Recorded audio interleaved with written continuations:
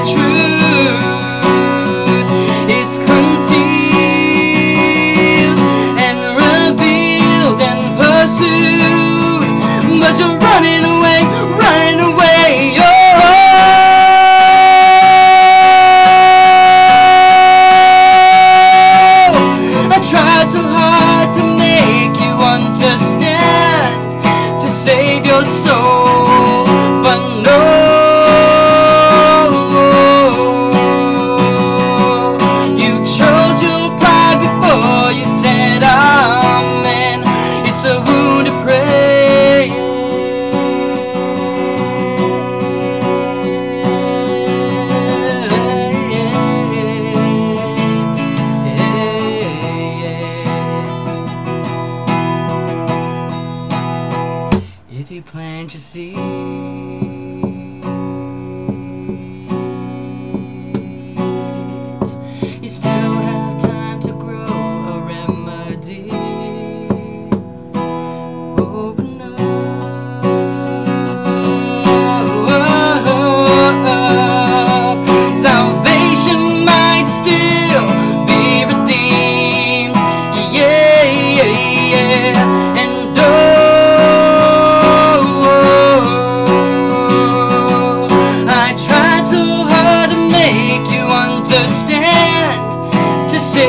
so